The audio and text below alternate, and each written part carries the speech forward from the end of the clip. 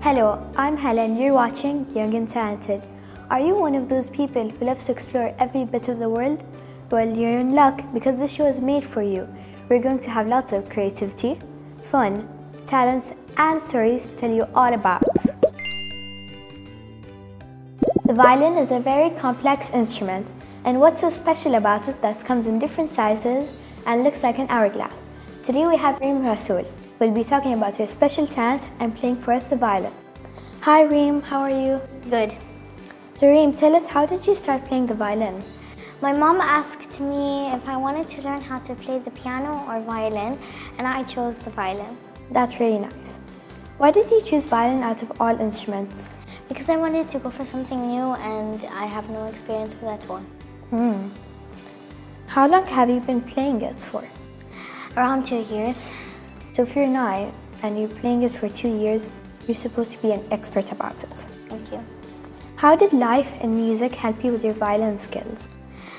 Well, it made it more fun and I really enjoy my violin lessons. That's good. What do you wish to become when you're grown up? Um, an architect and maybe a violinist, but I might change my mind in the future. Interesting, but why an architect? Because my parents are architects and I just don't want to be an architect like them. That's really nice. I'll let you build me a house one day. Thank you, Reem. And now it's time for Reem to play the violin. Are you ready? Yes. See you later with Reem playing the violin.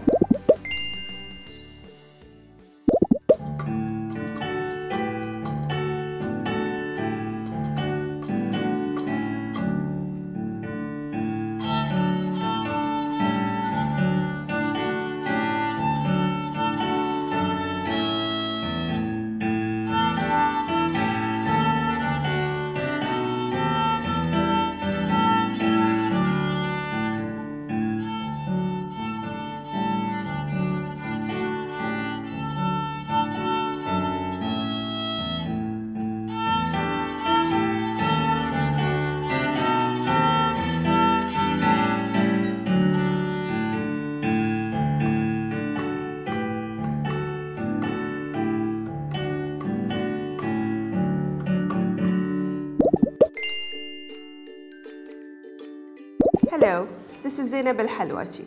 I'm an artist. Today, we're gonna paint together something very beautiful. I found this for the elephant. It's an elephant book actually, and I thought we're gonna do this together today. But before we start, let's talk about colors. Which kind of paint do you guys use in order to start your painting? How do we start? What do we need? First of all, if you want to paint at home, you need a canvas. This is called canvas. And for me, I love acrylic paint. So I use acrylic paints, whether it's this size, the big size, whatever suits you. You will need a palette. A palette, you will use it for the paint. You will put the paint, whatever you need for your painting. So for example, for this painting, the elephant child, I will need green, but it's not only one shade of a green. I have two shades of green, I have white, and I have a little bit of pink. And of course, I will need another color for the shading. If you will put color on your palette, make sure you don't exceed this amount because the color will dry and you will not use it. My advice to you is just drop. So if you open your paint, make sure it doesn't exceed this amount. This is all you need for your painting. Usually the kids ask me, Ms. Zuz, why do we use only a drop of the paint? Because you don't need more than that. The water will help you make your painting or your paint go all over the place. Let's do that together. About the brushes, by the way, you need glass of water. Just put the water nearby, put your brushes in. Never put your brushes if you use them on the table or outside. The brushes will dry and then you cannot use them. So let's do this together. Let's say you saw something at home and you want to copy. How do we do that? I put two shades of green and I put white. Then I have this color, it's called yellow ochre. Yellow ochre is a very helping color. You can use it for shading or to mix it with any other color. I will put a dot of maroon. I will not need more than this actually, it's for the cheeks. You can use markers if you want or you can use directly your brush. I always recommend that you go with your brushes guys. The brush, make sure you dry it. You can use tissue for that as well. And let's start with our elephant. Let's go with the green.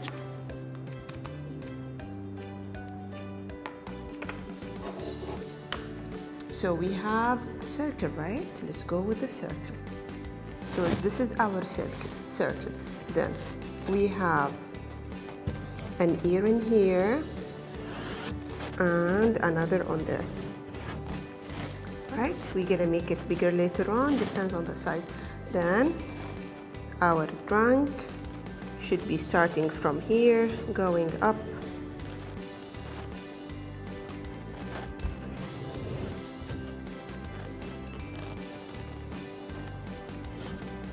so this is also here when you start your painting you have to make sure that you started with a sketch. When you start with your sketch then you can go on easily. And the eyes are gonna be here.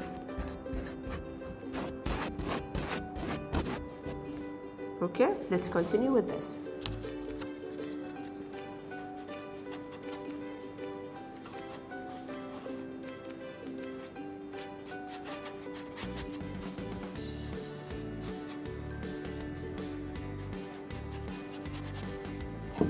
I started my painting with only using one color.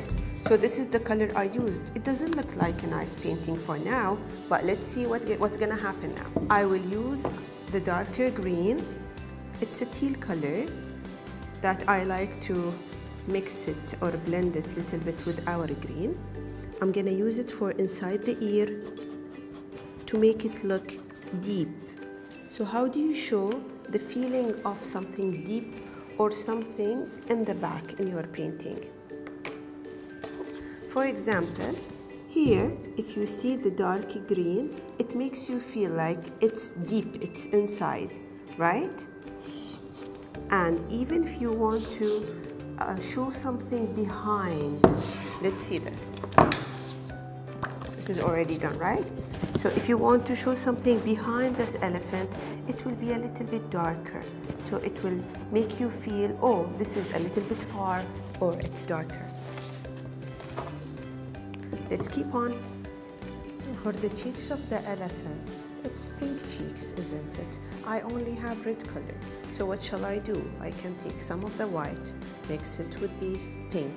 Which color will I get? I'm gonna get pink. So this is the red, this is the white, and this is the color I wanted. I just mix them together and I'm gonna have some cute pink.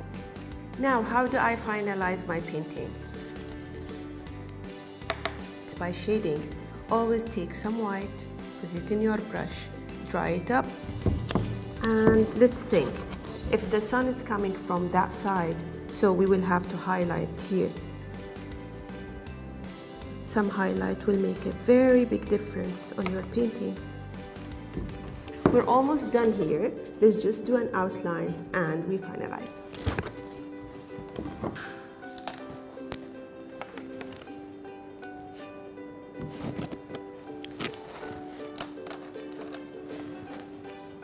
I will use a marker to outline the painting.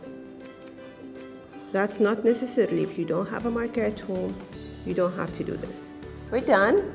You have to sign here and that's it. Thank you very much. That's Zainab Al-Halwachi. I'll see you next time.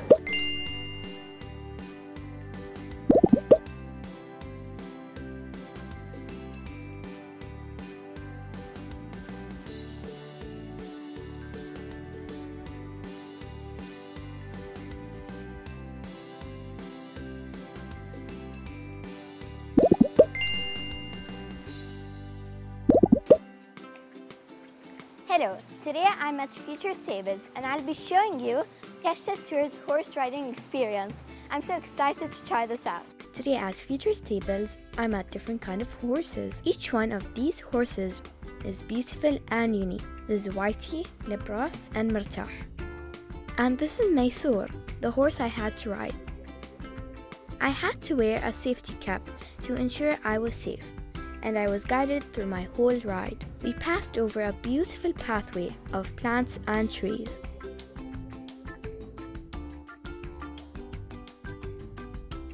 And now we reached Noorana Beach. We took some few stops and clicked some photos. Check them out.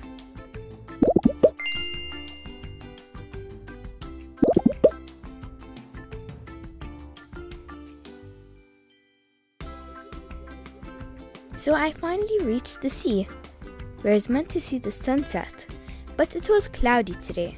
But I'm still so happy to be riding a horse for the first time. Thank you Keshta Tours for this beautiful experience.